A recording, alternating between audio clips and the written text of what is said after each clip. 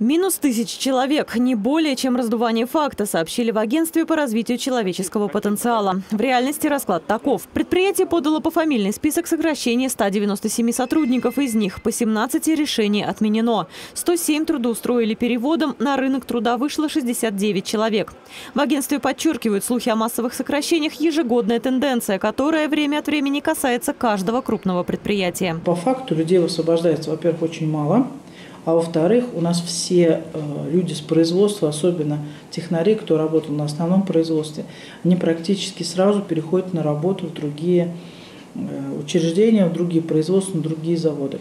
Очень большая нехватка основного персонала на этих перечисленных производствах, большое количество линейных сотрудников требуется как на УАЗ, так и на Авиастар, так и на ДАС. Предварительно Авиастар планирует сократить еще 50 человек в сентябре, но специалисты уверены, цифра будет меньше. На предприятии работает консультационный пункт. С начала года он принял всего 19 человек.